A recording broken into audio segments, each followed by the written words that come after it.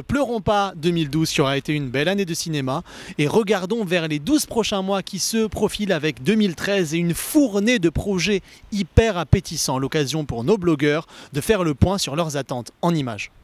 Nos 10 blogueurs se sont rassemblés pour une dernière fois afin de parler des films qu'ils n'en pouvaient plus d'attendre pour l'année 2013. Elysium, Kick-Ass 2, The Wolverine, Là, le nouveau Sofia Coppola. Gatsby de Baz Luhrmann, Only God Forgives, Thor 2, Stalker, Le Loup de Wall Street, Cloud Atlas. Django de Tarantino, Hmm, tout ça a l'air plutôt sympathique, hein, notamment le petit film avec Tom Hanks à gauche, je ne sais pas ce que c'est mais ça a l'air vachement bien, enfin bref. Passons et dites-nous plutôt quels sont les films que vous n'en pouvez plus d'attendre. euh, donc sans surprise Iron Man 3, Iron Man 3, Iron Man 3. Robert Downey Jr. dans un numéro 3. Énorme. On l'attend avec grande impatience. C'est Michel Gondry qui adapte euh, L'écume des jours, L'écume des jours, mon roman culte de mon adolescence. parce que c'est un peu le roman de Borisian et le roman de ma vie. C'est une histoire d'amour euh, tragique. C'est du jazz, c'est euh, c'est plein de mots inventés. C'est un peu la rencontre qu'on attendait entre Burton et Alice. On a un peu peur que ça soit trop un univers pour lui. En tout cas, on a très impatience de découvrir euh, un film sur lequel en plus on a des doutes sur le tournage. Donc j'ai hâte de voir ce que ça donne avec Romain Duris et Audrey Tautou. Je pense qu'il a fait le bon choix. Après la réponse, ça sera donc en 2013.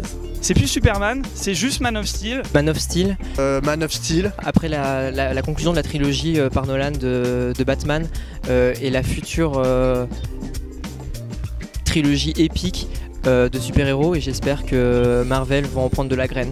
Et sinon, comme autre attente, on- il y a aussi Pacific Rim, Pacific Rim. Pacific Rim, qui a l'air assez, euh, assez puissant et assez, euh, assez incroyable euh, en termes de mise en scène, en termes techniques. Enfin, ça a l'air assez, euh, assez, assez ouf, quoi. Voilà.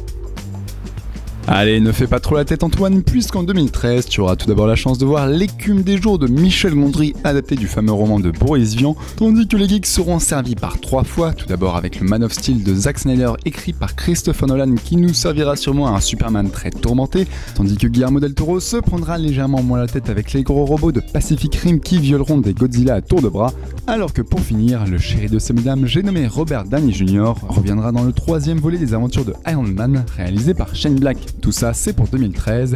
Et en attendant de voir si les films cités seront dans les tops ou dans les flops, on vous souhaite une très très bonne année et on se retrouve très bientôt pour de nouvelles aventures cinématographiques vers l'infini et l'au-delà. Salut à toi cher blogueur, c'est la fin de l'année. Merde, pardon.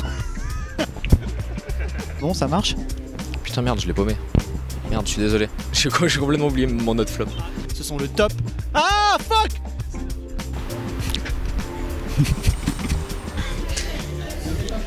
Commencez pas à mettre la pression.